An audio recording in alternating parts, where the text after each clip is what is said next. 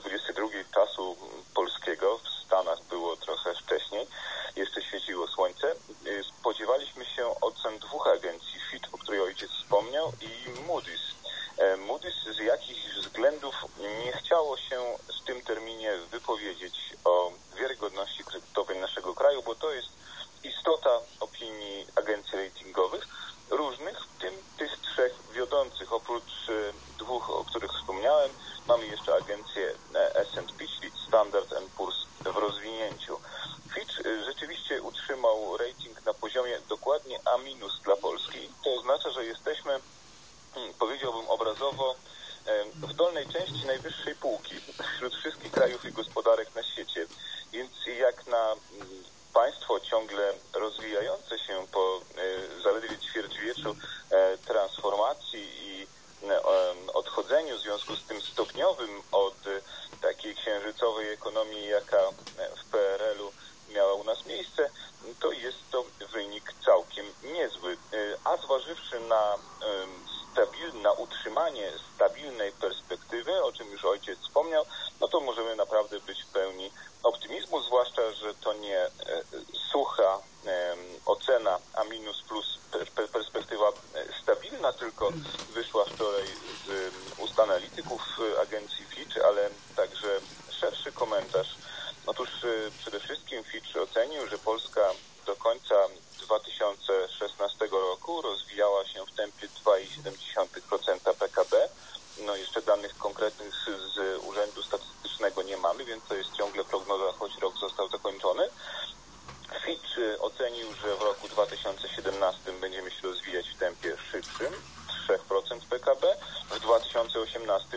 jeszcze szybszym 3,2% PKB. Mało tego, oceniając właśnie naszą gospodarczą pomyślność w przyszłości najbliższej, stwierdził, że ryzyka, jakie ewentualnie przed nami stoją, czy, czy będą stały, płyną z zewnątrz, a nie z wewnątrz naszej gospodarki, czy nawet naszej polityki. Mówili um, analitycy agencji FIT przede wszystkim o ewentualnych wątpliwościach dotyczących popytu na polskie towary zgłaszanego przez naszych partnerów handlowych. A więc reasumując, jeśli nic nadzwyczajnego nie wydarzy się w naszym otoczeniu i jeśli analitycy agencji FIT znają się na ekonomii, to przed polską gospodarką kilka lat stabilnego, oczywiście dość dynamicznego, choć może nie aż tak, jakbyśmy chcieli, rozwoju. Natomiast jeśli chodzi o agencję Moody's, ona zachowała się już w ten sposób drugi raz. 9 września roku 2016 także nie opublikowała swojego ratingu.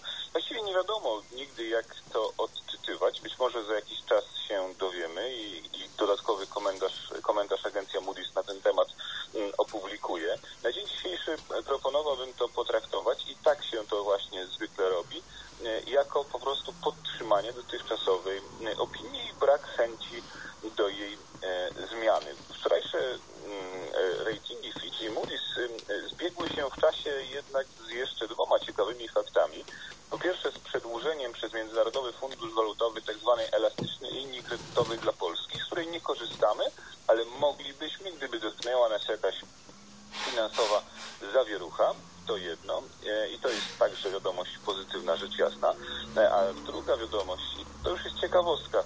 Otóż agencja Moody's to zostało dosłownie kilka godzin temu um, ujawnione. Podpisała ugodę z amerykańskimi władzami federalnymi i stanowymi. Zapłaci prawie 900 milionów dolarów e, z tytułu swego rodzaju odszkodowania, a właściwie, jak powiedziałem, ugody za podtrzymywanie do końca, e, do ostatniej chwili, do samego wybuchu kryzysu w roku 2008 bardzo wysokich ocen wiarygodności kredytowej toksycznych papierów wartościowych, głównie tych opartych na kredytach hipotecznych typu subprime. I to niestety rzuca cień, e, to niestety rzuca e, podejrzenie mm, nawet niesolidności na oceny agencji, o których mówimy. Na pewno warto o tym wszystkim wiedzieć, warto znać historię tych agencji ratingowych i warto w związku z tym brać pewną poprawkę na to, co one do nas mówią, ale oczywiście oceny te są przez inwestorów na całym świecie cały czas bardzo poważnie brane pod uwagę, dlatego nie możemy od nich abstrahować, dlatego musimy starać się o to, by także przez agencję Fitch, Moody's i Standard Poor's być ocenianymi jak najwyżej. W kontekście budżetu ojciec zagadnął mnie także... Tak, tak, jak go jak ocenia, że no budżet się ocenia zawsze w, pewnie już w trakcie y, działania, ale przed też możemy mieć jakieś zwiastuny mieć, prawda? Zacznę może od y, y, czegoś, czego się słuchacze nie spodziewają. Otóż od porównania naszego budżetu do tego, co dzieje się w finansach publicznych naszych sąsiadów, innych krajów regionu Europy Środkowej i Wschodniej. Niemcy odnotowali w 2016 roku nadwyżkę budżetową na poziomie 6,2 miliarda euro. Czesi także zamknęli rok na plusie. Słowacy, wszystkie znaki na niebie i ziemi wskazują, że zrobią to, że uda im się to w roku 2018. Wolfgang Schäuble, niemiecki minister finansów, zapowiedział, że już wkrótce obniżone zostaną tamtejsze podatki dochodowe. Zrobią to prawdopodobnie też niedługo Amerykanie, Brytyjczycy i znowu kilka krajów naszego regionu, a mimo to rozwijają się one dość szybko, coraz szybciej i też odnotowują, o czym powiedziałem, nadwyżki budżetowe. Co to oznacza? To znaczy, że, że działa krzywa Lafera i że obniżanie podatków służy rozwojowi gospodarczemu, a w dłuższej perspektywie nawet polepsza kondycję finansów publicznych i pozwala na generowanie nadwyżek budżetowych. To nie jest pretensja do naszego rządu i Ministerstwa Finansów, bo wiemy wszyscy, że po ośmiu latach e, nacechowanych błędami, i to bardzo poważnymi, rządów Platformy Obywatelskiej i PSL-u, zwłaszcza w polityce gospodarczej i fiskalnej, trudno jest w ciągu roku e, wszystko Niemniej jednak sądzę, że margines poszerzania poziomu redystrybucji dochodu narodowego w Polsce przez państwo, że margines powiększania sfery wydatków publicznych zaczynamy wyczerpywać. Dobrze, że te wydatki publiczne, te nowe, poszły na 500 plus, program bardzo radykalny, choć bardzo, ale to bardzo pożyteczny, na który też agencje ratingowe, nawiasem mówiąc, zwracają uwagę jako na jeden z czynników polskiego wzrostu gospodarczego. E, dobrze, że e, te wydatki idą na modernizację polskiej armii, bo wszyscy wiemy, jaka jest sytuacja wokół nas.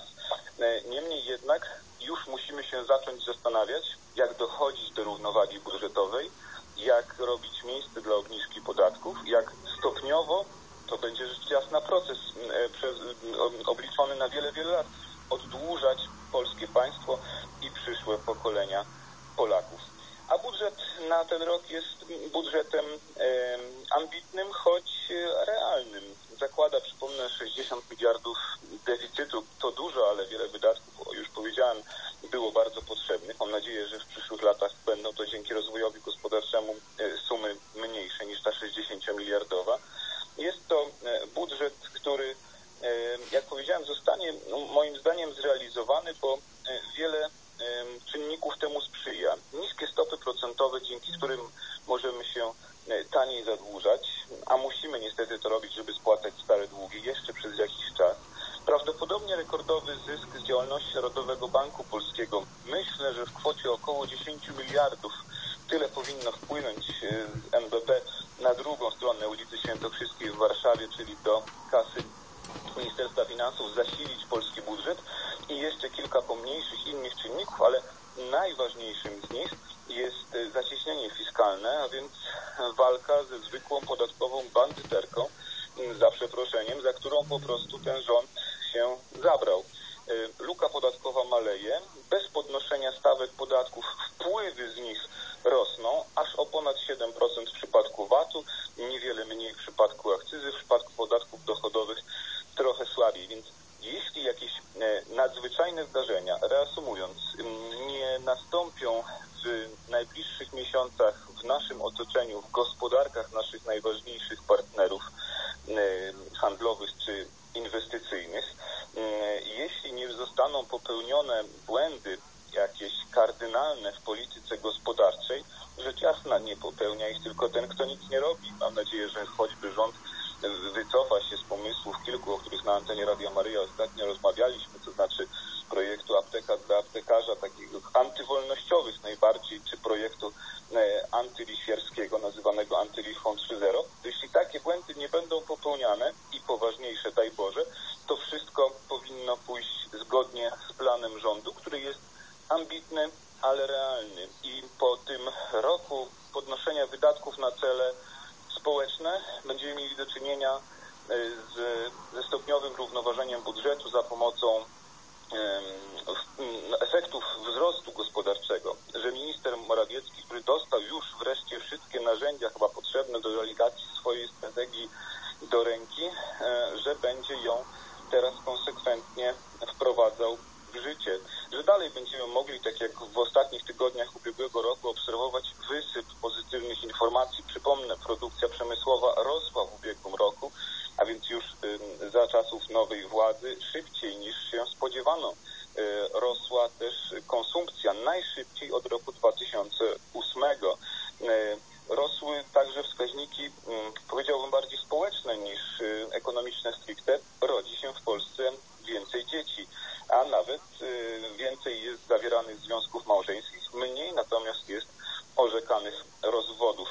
No to wszystko dowodzi, tak już wypływając y, na koniec na szersze wody dyskusji bardziej e, cywilizacyjno-społecznej niż stricte gospodarczej, że Polacy są ciągle narodem konserwatywnym i tego konserwatyzmu nie wyzbywają się nawet y, w miarę E, gromadzenia majątków w miarę tego, jak stajemy się społeczeństwem coraz bardziej zamożnym. Hmm. Jeśli ten proces będzie postępował, a Polacy będą się dalej swoich zasad swoich ojców i dziadów trzymać, to myślę, że nawet w dłuższej perspektywie przyszłość przed nami rysuje się bardzo pozytywna.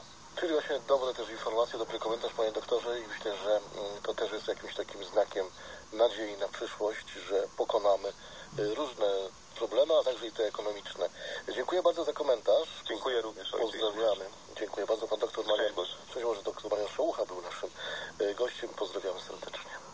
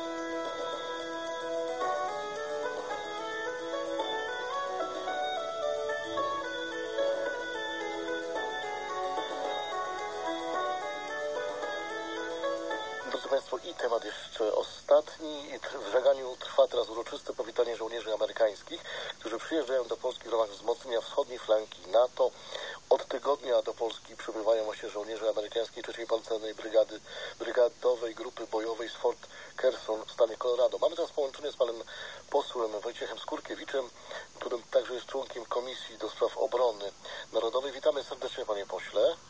Szczęść Boże, witam ojca, witam wszystkich radiosłuchaczy. E, Można powiedzieć, że ten dzień także przechodzi do historii. 14 dzień stycznia do historii najnowszej Polski, jeśli chodzi o naszą obronność.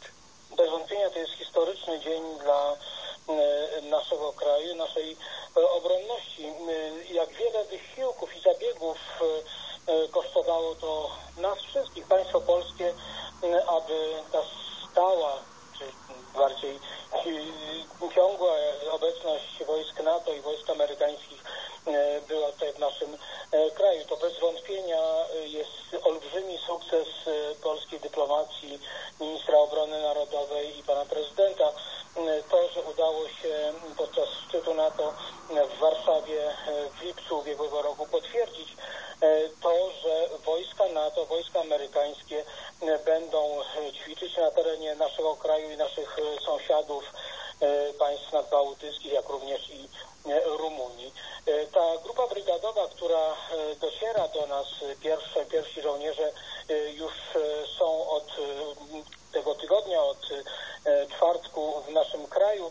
E, Oni będą e, z żagania rozsyłani e, po miejscach docelowego stacjonowania, nie tylko u nas w kraju, ale również Litwie, Łotwie, Estonii i Rumunii. Bez wątpienia to jest olbrzymie wsparcie dla nas Polaków, dla naszego wojska, dla naszej armii, dla naszych partnerów w ramach wschodniej flanki NATO. W sytuacji agresywnych działań Rosji i w Kaliningradzie, i na Ukrainie, i w, na Białorusi, w tych naszych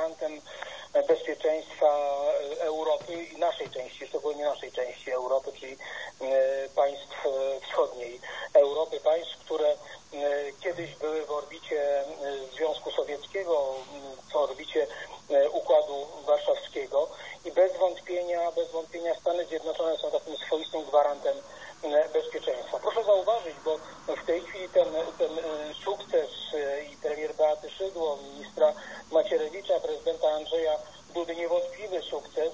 W tej chwili próbuje wielu przekuwać, że przyczyniało się do tego, podejmowało, podejmowało działania. Ale jakże dalej bylibyśmy w tym podnoszeniu bezpieczeństwa naszego kraju, gdyby nie takie bardzo lekkie podejście do obszaru bezpieczeństwa przez naszych poprzedników. Mam tutaj na myśli Donalda Tuska, wcześniej ministra Klicha Obrony Narodowej, później ministra Siemoniaka, którzy praktycznie wstrzymali działania związane z tworzeniem w Polsce jednych, jednego z elementów czy części tarczy antyrakietowej. Proszę zauważyć, że w Rumunii tarcza antyrakietowa, która jest elementem tego europejskiego systemu obrony, już funkcjonuje, a w Polsce w Redzikowie dopiero jest tworzona, a przecież to właśnie Polska miała być tym kluczowym elementem tarczy antyrakietowej. Ta opieszałość rządu Donalda Tuska, później jakby Kopa spowodowała, że te działania nie były prowadzone w taki sposób intensywny, nie były prowadzone w sposób taki również i partnerski ze Stanami Zjednoczonymi.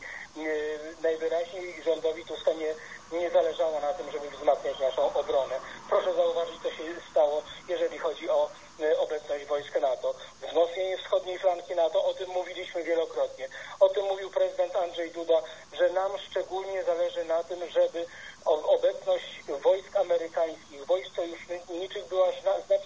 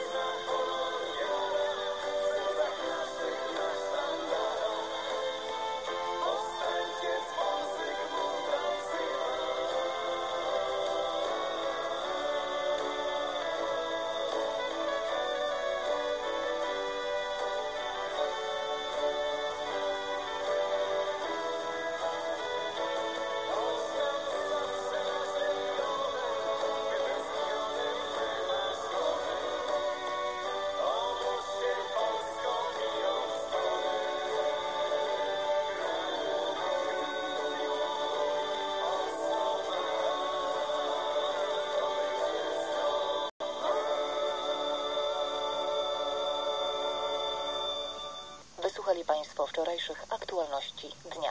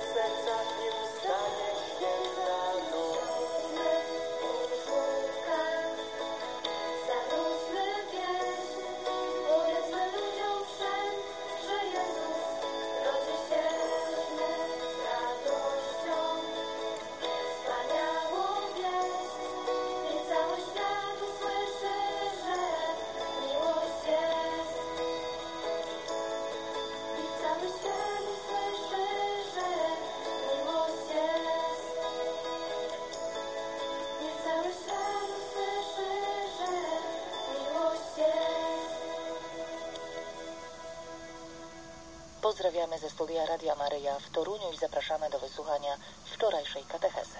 Dzisiaj katecheza z Kościołem w trzecie tysiąclecie. Katechezy te głoszą księża biskupi. Dzisiaj na antenie Radia Maryja witamy i pozdrawiamy księdza biskupa Ignacego Deca, pasterza Kościoła Świdnickiego.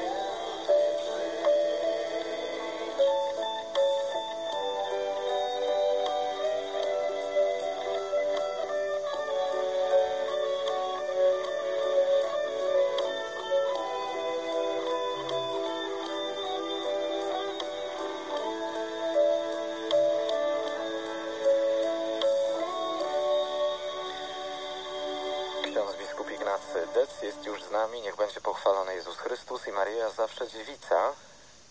Bardzo serdecznie pozdrawiam tymi samymi słowami słuchaczy Radia Maryja. Księże biskupie, po, poprosimy o poprowadzenie katechezy.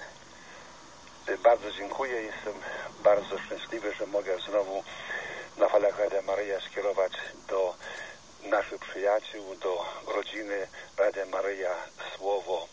Dlatego witam jeszcze raz i pozdrawiam wszystkich zgromadzonych o tej porze słuchaczy przy odbiornikach w kraju i za granicą. Y, Mamy za sobą święta Bożego Narodzenia.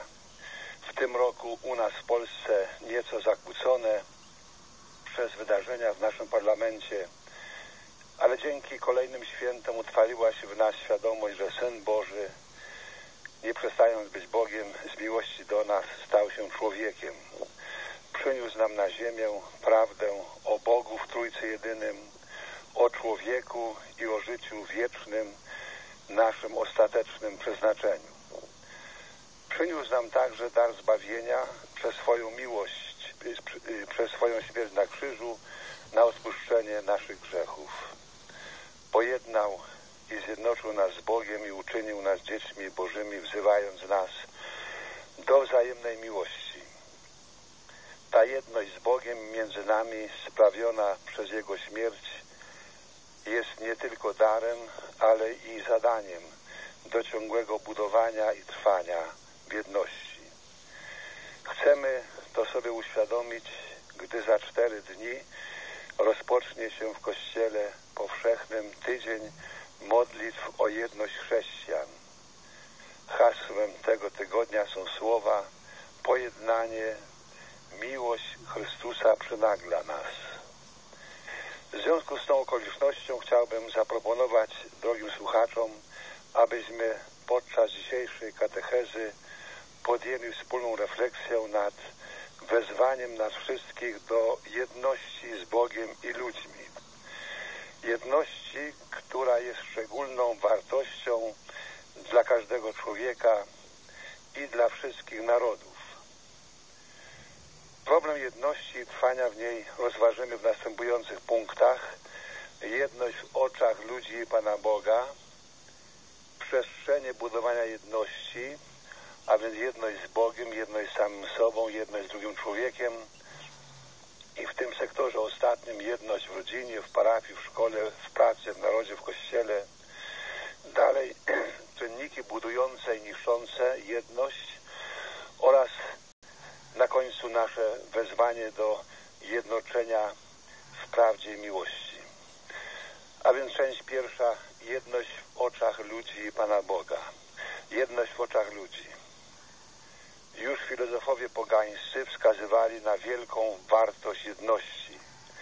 Platon w IV wieku przed Chrystusem wśród boskiego świata idei na pierwszym planie wymieniał ideę jedności oraz ideę dobra. Sądził, że to, co jest czymś jednym, jest zarazem czymś najdoskonalszym.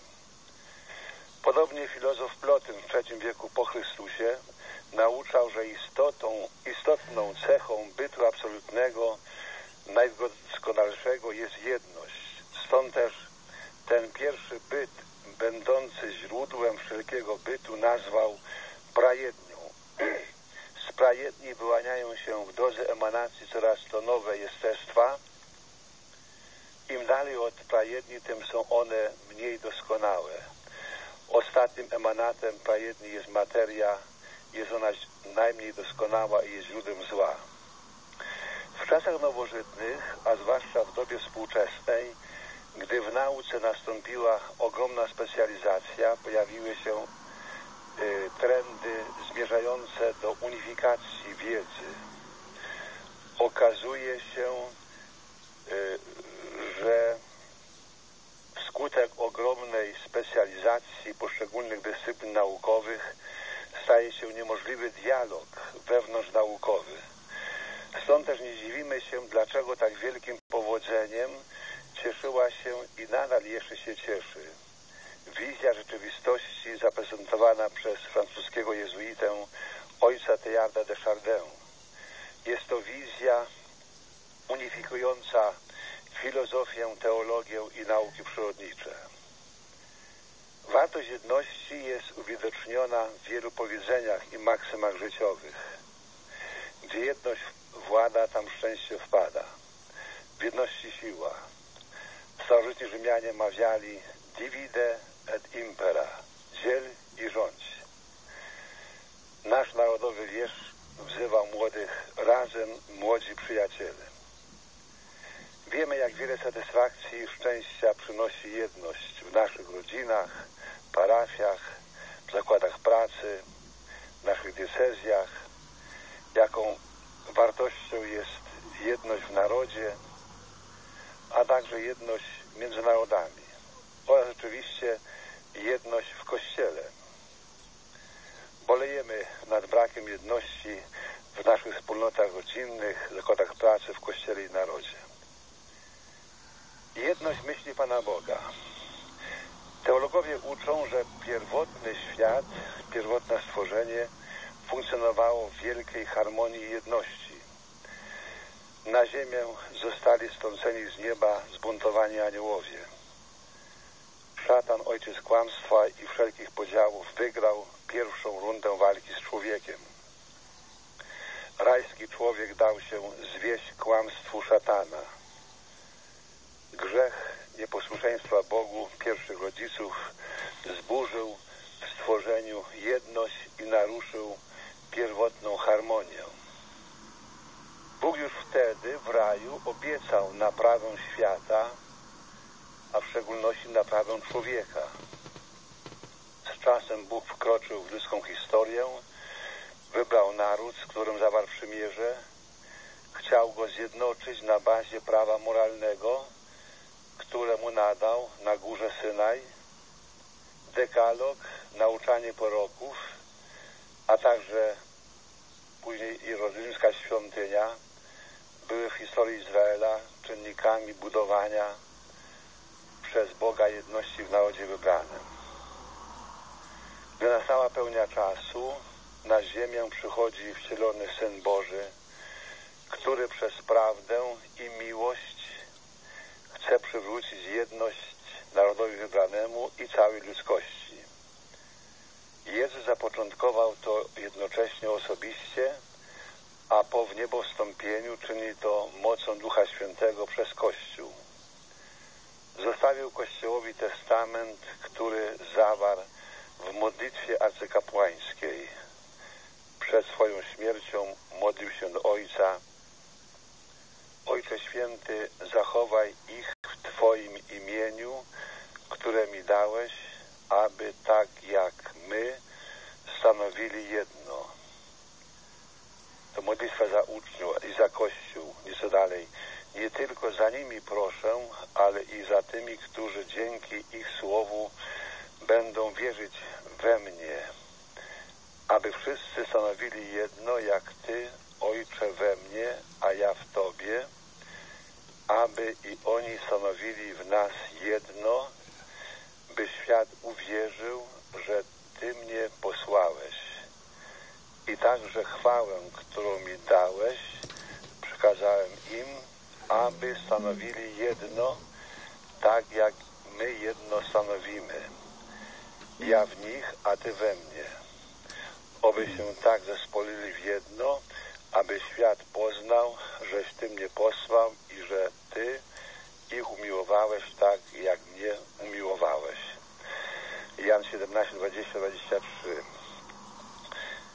Widzimy, że źródłem wszelkiej jedności jest właśnie sam Bóg w Trójcy jedyny.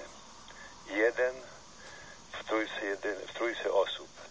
Ta modlitwa Chrystusa, nowego Adama, jak wierzymy, nadal trwa i nieustannie jest składana w niebie przez naszego Pana. To bowiem, co Chrystus mówił i co czynił, uzyskało wartość ponadczasową. Stało się niewrażliwe na czas. Jezus Chrystus, zasiadający po prawicy Ojca, wstawia się za nami i dzisiaj prosi nadal za nami, abyśmy byli jedno. Niestety uczniowie Chrystusa, zranieni grzechem pierworodnym, skutek złych wy wyborów moralnych, wolnych wyborów, raz po raz niszczą jedność darowaną przez Boga. Działo się to już w pierwotnym Kościele. Do gminy w Koryncie pisał apostoł Paweł w pierwszym swoim liście. Przeto upominam was, bracia, abyście żyli w zgodzie i by nie było wśród was rozłamów, abyście byli jednego ducha i jednej myśli. Doniesiono mi bowiem, bracia moi, przez ludzi Chloe, że zdarzają się między wami spory. Myślę o tym, co każdy z was mówi. Ja jestem od Pawła, a ja od Apollosa, ja jestem Kefasa, a ja Chrystusa. Czyż Chrystus jest podzielony? Pyta apostoł. Powtórzmy raz jeszcze, że Chrystus przyszedł do nas, aby nas zjednoczyć z Ojcem Niebieskim i między nami. W Ewangelii Świętego Jana czytamy, Jezus ma umrzeć za naród i nie tylko za naród, ale także po to, by rozproszone dzieci Boże zgromadzić w jedno. Zaznaczmy, że pełnia tego zjednoczenia będzie dopiero osiągnięta w czasach ostatecznych. Przechodzimy do części drugiej, przestrzenie budowania jedności. I tu będzie y, kilka sektorów tej przestrzeni, gdzie możemy i powinniśmy jedność budować. Najpierw jedność z Bogiem. Jedność z Bogiem jest bowiem warunkiem, źródłem i fundamentem każdej ludzkiej jedności. Stąd też im bardziej jesteśmy zjednoczeni z Bogiem, tym łatwiej nam być w jedności z drugim człowiekiem. Stąd też ogromnie ważna i ciągle aktualna jest zasada, dyrektywa moralna głosząca od jedności z Bogiem do jedności z człowiekiem, a także przez jedność z człowiekiem do jedności z Bogiem. Jedność samym sobą. Co to znaczy, że powinniśmy być jedno z samymi sobą? Chodzi tu najpierw o jedność między naszym myśleniem, mówieniem i działaniem, by nie być w sobie zakłamanym. Wiemy, jak trudno współpracuje się z ludźmi, którzy co innego myślą, co innego mówią, a jeszcze co innego czynią. Powtórę, w jedności samym sobą chodzi o jedność między naszą sferą poznawczą i wolitywną, czyli o to, aby wola wybierała to, co jej rozum przedstawia jako dobro, a odrzucała to, co rozum rozeznaje jako zło. Jeśli taki mechanizm w nas nie funkcjonuje, to następuje w nas dezintegracja, rozbicie wewnętrzne jako skutek grzechu i łamania naszego sumienia. Człowiek jest istotą świadomą i wolną, w życiu obiera sobie jakieś cele i przyjmuje jakąś skalę wartości. W związku z tym ustala sobie zespół zasad do postępowania życiowego, moralnego.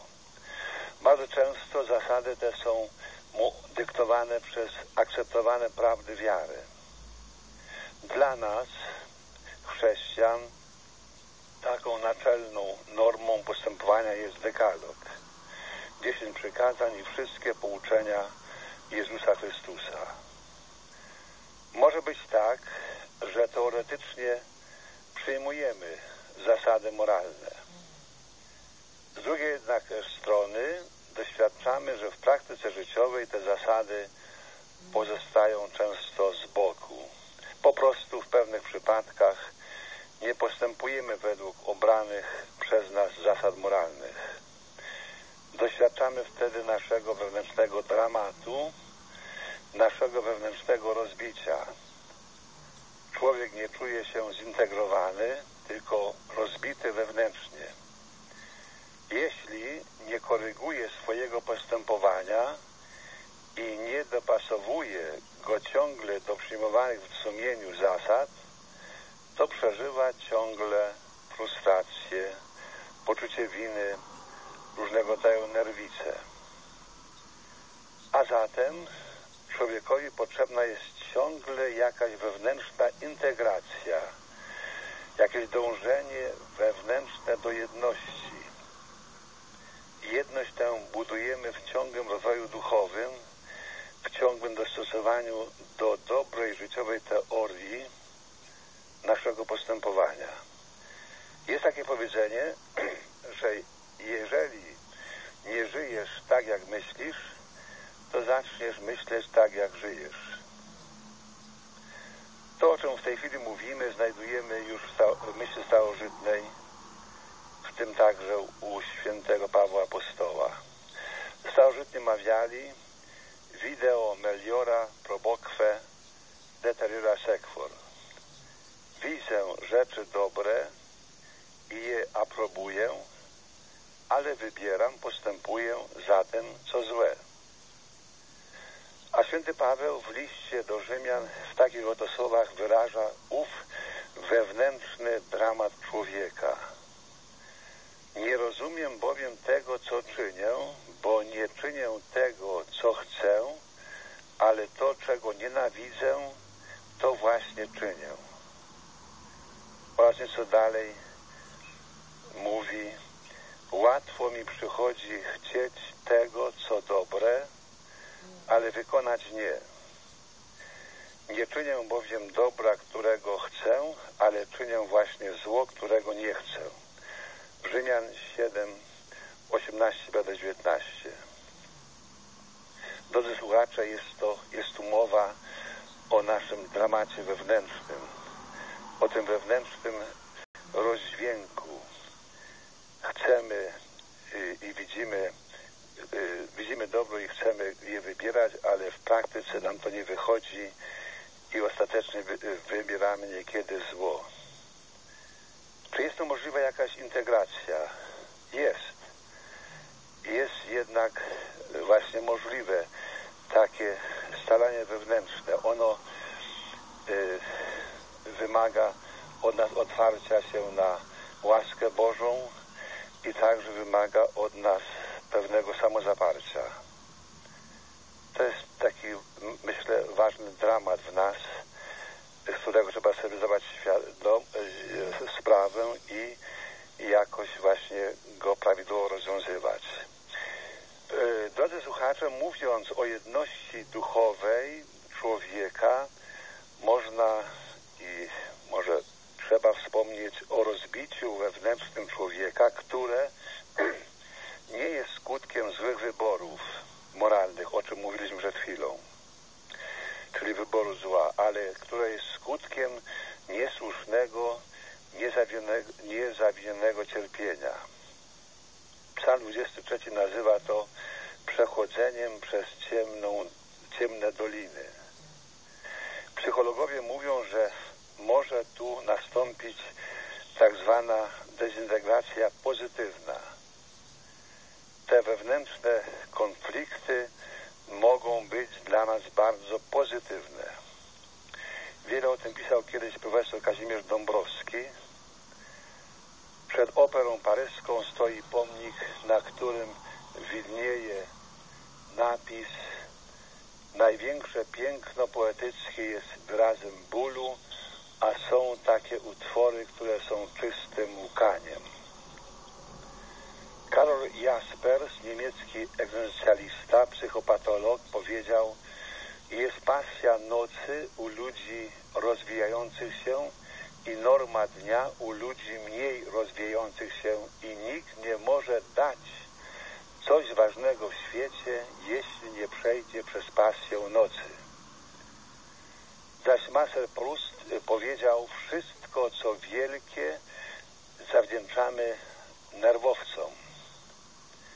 A zatem takie rozbicie wewnętrzne, taki brak wewnętrznej jedności, który jest wynikiem niezawiedzionego cierpienia, może być czymś pozytywnym pod warunkiem właściwego nastawienia do niego. Można tu przypomnieć naukę świętego Jana od Krzyża o tak zwanej nocy duchowej, przez którą możemy przejść do wewnętrznego zjednoczenia z Bogiem, a więc otrzymać duchowy wzrost. To tyle na temat tej dezintegracji pozytywnej. Dlatego nie trzeba się martwić, jak mamy jakieś cierpienia, doświadczenia życiowe. To mogą być takie doświadczenia, y, y, na których może się narodzić właśnie duchowy wzrost.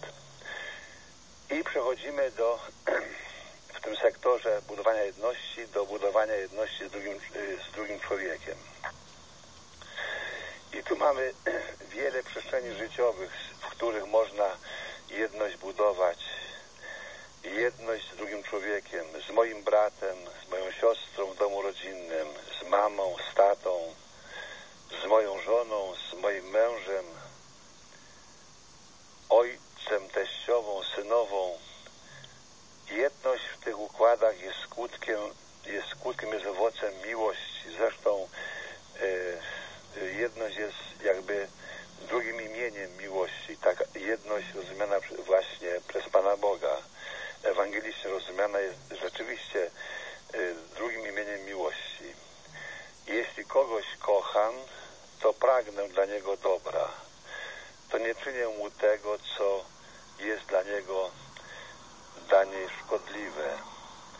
Jeśli jestem w jedności z żoną, mężem, ojcem, matką, to zasadniczo pożądamy tego samego dobra i wspólnie podejmujemy trud, by to dobro osiągnąć.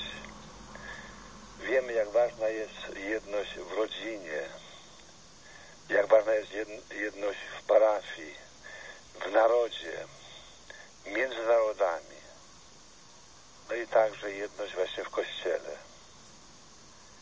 Tak, więc y, ten właśnie mechanizm, o którym wspomniałem, obowiązuje w każdej postaci tego życia społecznego w wymienionych właśnie y, kręgach społeczności. Jest ważne tutaj, abyśmy w naszym wnętrzu, w naszym ja poskrabiali właśnie y, nasz egoizm y, i jak, jak najmniej, żeby było właśnie w nas tego naszego ja, by w tym naszym ja zrobić miejsce dla Ty, dla Ty z dużej litery, dla Pana Boga i dla Ty każdego człowieka. Y, Ten rodzaj jedności w tych wymienionych wspólnotach łączy się zawsze ze wzajemnym szacunkiem, poszanowaniem cudzych praw, jednym słowem z ludzką miłością. Y, Świat powiązany jedynie takimi y, y, środkami materialnymi, na przykład telefonem czy mediami, nie jest jeszcze światem zjednoczonym. Widzimy, że świat jest dziś rzeczywiście powiązany mediami, telefonami komórkowymi, internetem, ale nasuwa się pytanie, czy dzięki tym środkom rzeczywiście wzrasta jedność w tym świecie, w naszych rodzinach, w naszym narodzie. To mogą być środki do jednoczenia, ale właściwe źródło jednoczenia jest w nas, a ostatecznie w Bogu. Moi drodzy, nie będę tu mówił o jedności w narodzie. Przeżywaliśmy ostatnio ten dramat poróżnienia w naszym parlamencie. Y, Tak, więc y, jest o czym myśleć i jest o co się modlić. Tylko tyle powiem. Jedność w Kościele. Zauważamy, że rozbicie chrześcijaństwa no, dokonało się właśnie w wyniku braku pokory, w wyniku po prostu grzechu. Niekiedy nawet właśnie ludzie Kościoła, hierarchowie nie szukali wielkości Pana Boga, tylko własnej wielkości. I z braku pokory nastąpiło, nastąpiło później poróżnienie. E, w tym roku, jak wiemy, wspominamy to odbycie na, na Zachodzie, które nastąpiło w roku 1517 za sprawą wystąpienia Lutra. Tak jest to dramat, ale jeśli to wspominamy, to po to, żeby sobie uświadomić, że mamy wrócić do jednej owczarni pod jednym pasterzem. Y, To y, może y, tyle na, ten, na temat budowania jedności z drugimi ludźmi. To jest tutaj jeszcze wiele by było do powiedzenia, ale zmierzajmy ku końcowi. Jeszcze takie dwa krótkie punkty. Czynniki budujące i niszczące jedność. Y, Czynniki budujące, sprzyjające budowaniu jedności. Najpierw czynniki nadprzyrodzone. To wiemy. Duch Święty. Duch Święty jest pierwszym sprawcą jedności. On jest duszą Kościoła i właśnie y, sprawia y, jedność y, wśród uczniów Chrystusowych. Oczywiście jest tu potrzebne nasze otwarcie się na to działanie Ducha Świętego. Tak jak mówiliśmy w okresie Bożego